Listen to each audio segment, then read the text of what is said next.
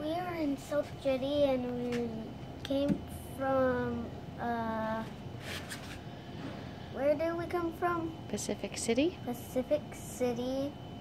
And today we did Zumba and that was super fun. Goodbye, What state are you in? Oregon. What state have you liked the most so far? I have liked, uh, Washington. What did you like about Washington? That we got to visit our mom's mom. And what is that behind you? A swimming pool. Are you going to go in it? Probably will. And it has three hot tubs. Bye.